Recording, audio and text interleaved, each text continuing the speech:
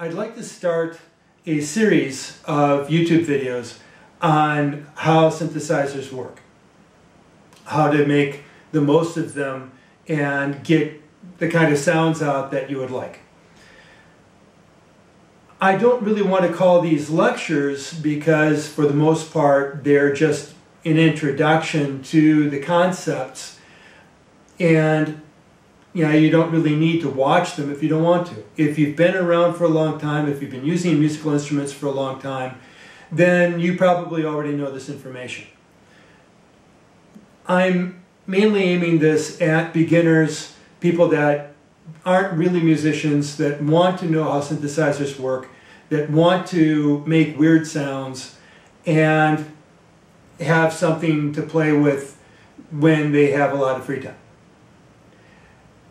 The main synthesizer that I'm going to be working with here is the Hackme Rockit.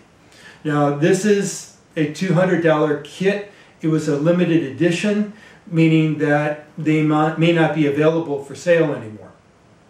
When I bought mine back in August 2013, there were only five left. So you may be able to find one used or pick something up off of eBay, but for the most part, I'm not expecting anybody to be able to use these things as well, to have the Rockit in front of them. This is just a way of getting started.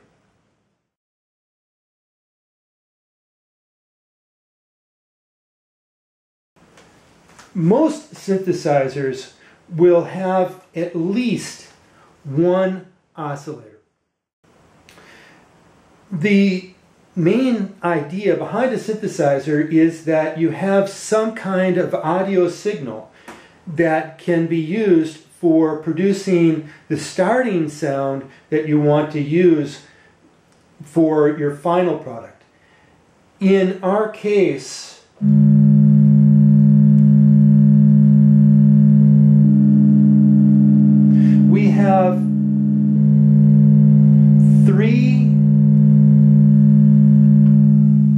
main waveforms.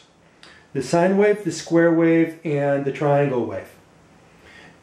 The Rockit has another 15 or another 12, total of 15 settings. 16 settings if you count noise. But most of those aren't simple waveforms. When we start with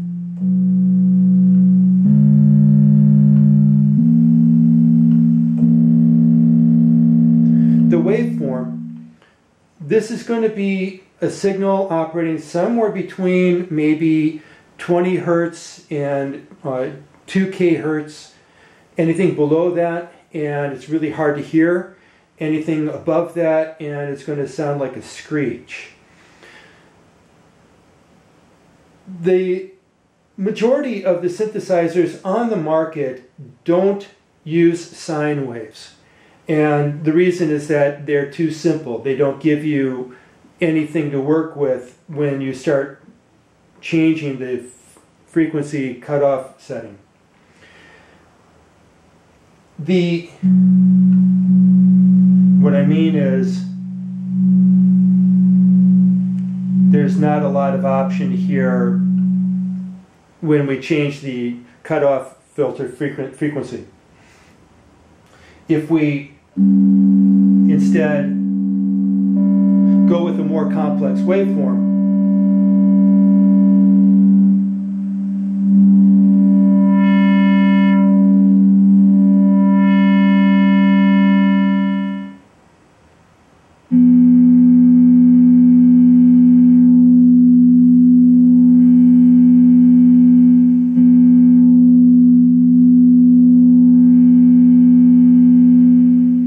Filter has something to work with. So most synthesizers will have a square wave, a triangle wave, and possibly a sawtooth. This is fine. This gives us something to start with. We have a note when we press the keyboard key. But it's not very interesting. So in our case, we have a second oscillator. And this oscillator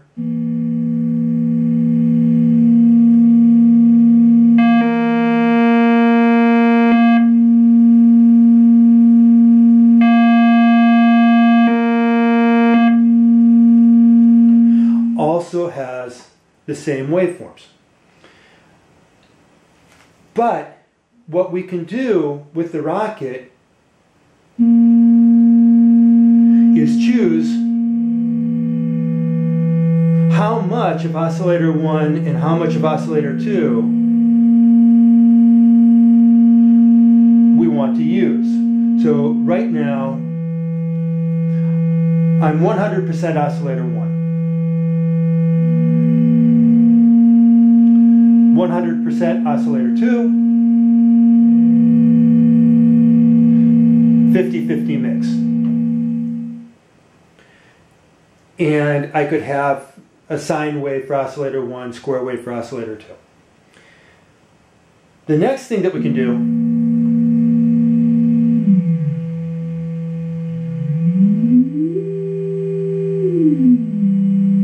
is detune.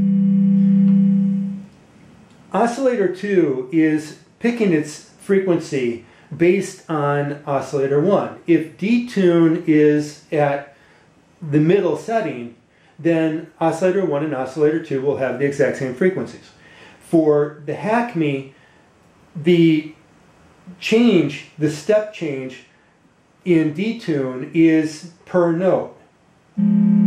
So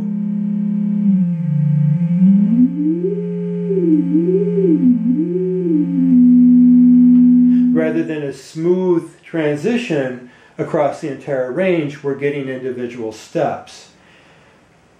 And we can detune up, or we can detune down.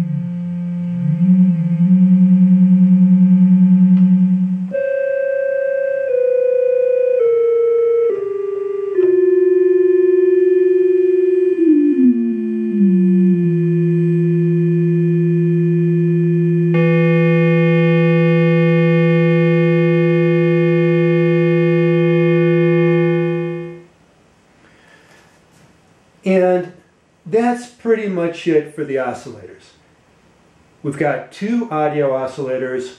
They're going to be running somewhere between 20 hertz or maybe 60 hertz up to 2k hertz or 3k hertz depending on the synthesizer. In our case, we've got oscillator 1, oscillator 2. This allows us to choose three different waveforms sine wave, square wave, triangle wave. Other synthesizers may have a wider range of selections and at least include sawtooth or maybe reverse sawtooth. Then we have the ability to mix the oscillators together and detune oscillator 2 off of oscillator 1. And that's it for this portion.